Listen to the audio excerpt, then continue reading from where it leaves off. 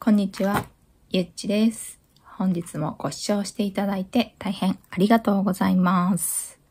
本日も、こちらの Q3 Pro 茶軸でタイピングをいたしました。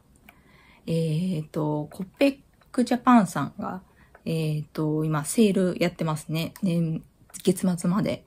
で、今日新しい軸が届くんですけれども、すごい楽しみな軸で、えっ、と、またそれを軸に変えて、えっ、と、お披露したいなと思っております。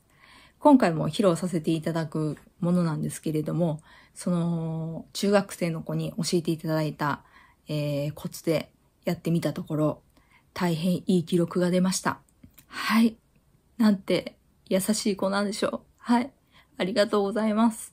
そういった視聴者様に本当に感謝いたします。